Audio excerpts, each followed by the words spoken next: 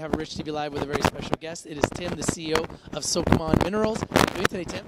Not too bad, Richard. Thanks for having me. Thank you for being here. And how are you enjoying the conference so far? It's been fairly brisk, actually. We've had a lot of people stop by. Uh, it's always nice to meet shareholders face to face because I am squirreled away way over on the East Coast, and uh, you know a lot of our shareholder base is on the mainland. So uh, it's always good to get to these shows and meet people, and hopefully attract new shareholders to the company. Absolutely. Now, we have a lot of members of our community that are very interested and are investing in Sokoman Minerals Corp.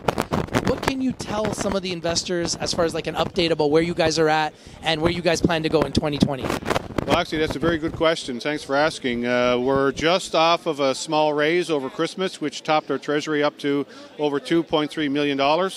So we're in a very strong position to start the year. Uh, we've also just let contracts out for uh, drilling to begin in about two weeks at Moosehead, our flagship property. And as well, we've been quietly working away on the property with magnetic surveys and geochemical surveys to look for other targets. But uh, certainly 2020 is going to be a very big and important year for us uh, with respect to the drilling, in particular at Moosehead. Very good. So we are investors at Rich TV Live, and we love to find undervalued, underappreciated, underexposed opportunities. Why is Sokoman Minerals one of those companies that we should be looking at today?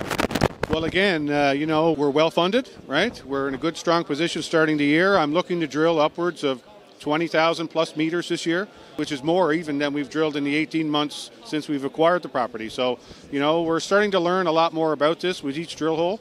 And I think 2020, the program should, you know, hopefully deliver, you know, what we think are some outstanding results. And uh, again, undervalued, you said it, you know, underappreciated, you said it. Uh, not, you know, from our current shareholder base. Good support, guys, thank you. But, you know, uh, certainly the markets haven't been kind to a lot of companies this year. But, you know, uh, we ended the year fairly strong. We ended up on an uptick. And um, yeah, I think 2020 is uh, going to be a banner year for Sokoman. Thank you so much. I hope you have a great conference. Nice booth here. Guys, take a look at Sokoman Minerals Corp. This is Tim, the CEO. It's been a pleasure meeting you, Tim. Wish you the best of luck. Enjoy the rest of the conference. Thank you guys for watching.